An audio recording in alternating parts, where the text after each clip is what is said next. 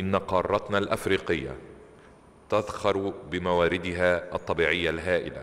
منها ما تتشارك فيه العديد من دول القارة وهذه الموارد ملك لشعوبنا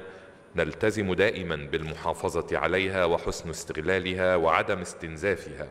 وضمان حقوق الأجيال القادمة فيها وقد أضحى هذا الالتزام مبدأ دستوريا ساميا.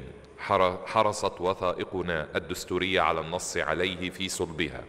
وهو ما يوجب على دول القارة العمل الجاد والمشترك لتنظيم الاستغلال الأمثل لهذه الموارد والاستثمار فيها من أجل تحقيق التنمية المستدامة في قارتنا وصولا إلى الهدف المنشود وهو رفاهية شعوبنا الأفريقية. إن الحفاظ على الموارد الطبيعية في قارتنا الأفريقية لم يعد خيارا مطروحا وإنما أضحى التزاما وواجبا على جميع دول القارة في عالم يموج اليوم باضطرابات سياسية واقتصادية تفرض علينا جميعا التعاون المشترك والمبادرة إلى تحقيق هذا الهدف.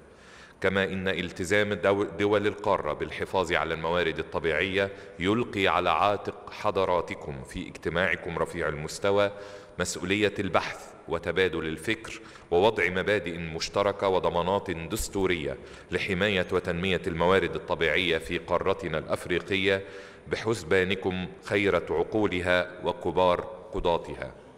وإن جمهورية مصر العربية تمد يد العون وتضع جميع إمكان إمكاناتها البشرية والعلمية والفنية للمشاركة مع الأشقاء في قارة إفريقيا للنهوض بقارتنا نحو مستقبل أفضل في شتى المجالات.